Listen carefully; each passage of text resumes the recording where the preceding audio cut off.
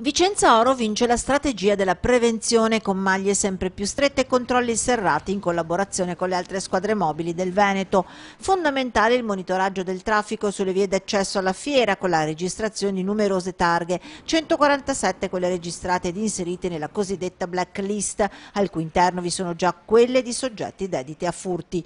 Targhe connesse ad una rete di telecamere consentendo interventi mirati. Ed è così ad esempio che domenica viene fermato un veicolo con a bordo due pregiudicati in possesso di una pietra dura assicurata ad un elastico e volta a sfondare i vetri delle auto. Ma si sa, non è tutto oro quello che luccica e i ladri sono ingegnosi. Così a poche ore dalla fine dell'edizione di Vicenza Oro, brutta avventura per una coppia di orafi tedeschi che si sono trovati la ruota anteriore forata, un escamotage che costringe la coppia a fermarsi alle 19.30 al distributore Eni di Viale della Scienza nel vano tentativo di trovare aiuto. Costretti a cambiare la gomma da soli, scaricano dal bagagliaio i borsoni Borsoni per prendere la ruota di scorta e nemmeno il tempo di accorgersene che qualcuno è riuscito a trafugare le due borse.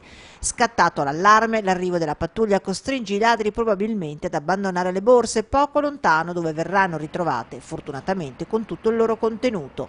Se la fiera all'interno è blindata, all'esterno c'è ancora lavoro da fare, nove infatti i furti consumati.